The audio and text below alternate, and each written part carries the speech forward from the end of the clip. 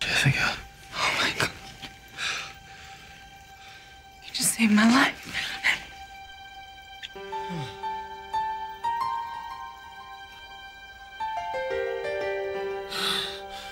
Spellbound begins with Jessica escaping miraculously. Jason intercedes and brings her back into the house, rolls her up in a blanket, and closes the door and brings her back into the vampire holding cell.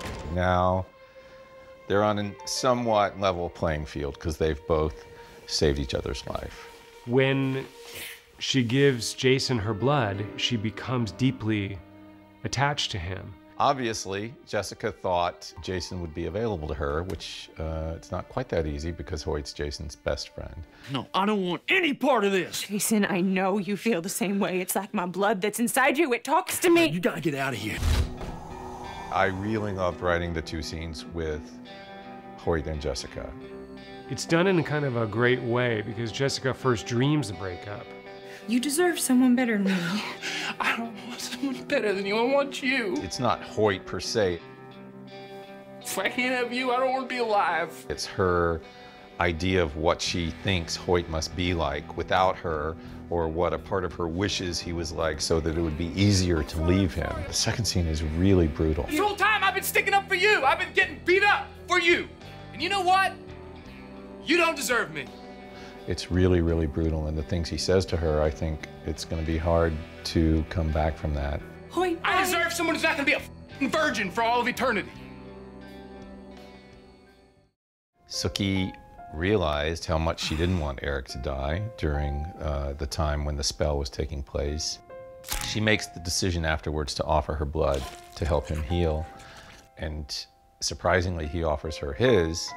And she's a little confused because she's like, I'm not injured. And he's like, come on, it will be, will be one. They drink each other's blood, which is, for humans like Sookie, intoxicating to drink a vampire's blood.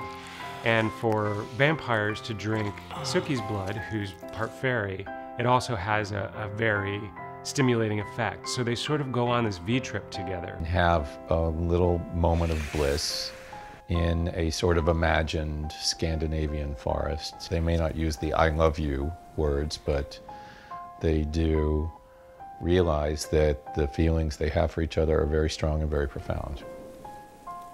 Loving you. Possible. However, on True Blood, you basically get one episode before everything goes to hell.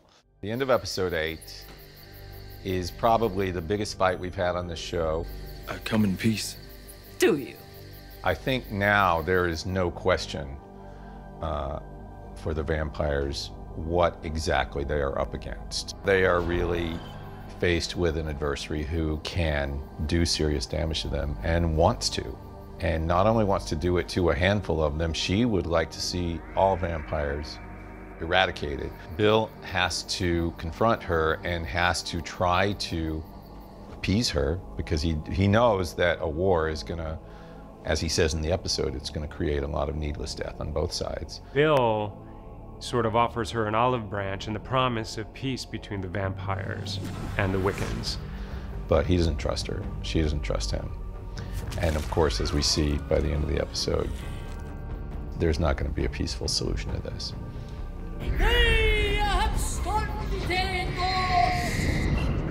Marnie, who is now Antonia, is able to take Eric at a point when he really just wants to run off and have a life with Sookie and turn him into her slave. So God only knows what he's going to be up to in the next few episodes, but he's not there for Sookie.